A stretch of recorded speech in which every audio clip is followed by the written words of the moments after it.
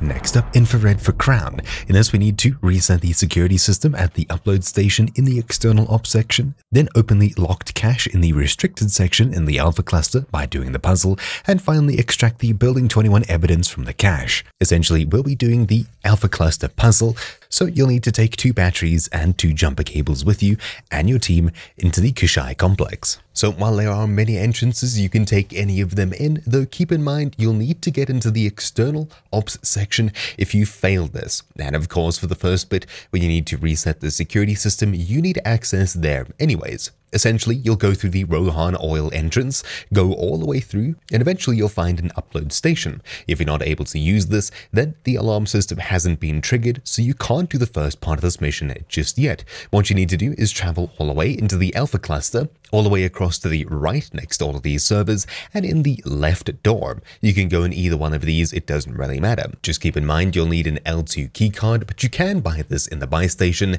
in the factory area all the way on the extreme north north of the map, this is the extreme south.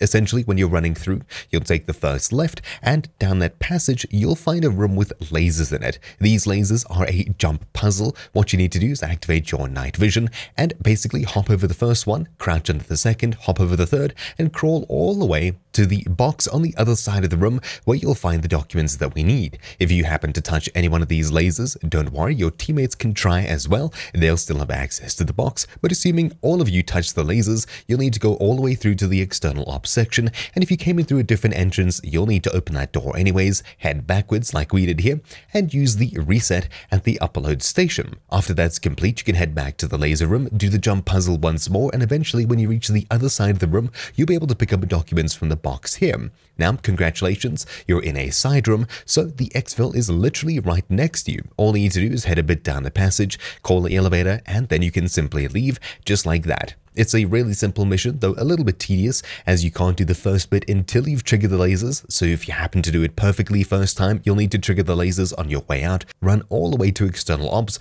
activate the upload station there to reset the security system, and finally you can extract from the map like that. So thank you all for watching, my name's been TroubleChute, and I'll see you all next time. Ciao.